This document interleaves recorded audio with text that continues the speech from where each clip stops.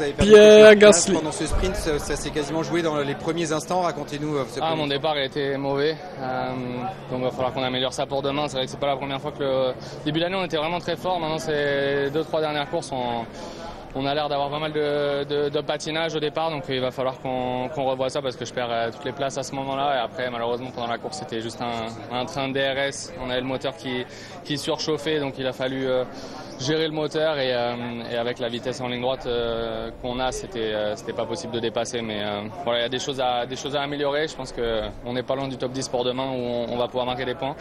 Euh, mais ouais, il y a, il y a deux trois choses à améliorer. Votre- il a fini juste derrière son équipier, Pierrot.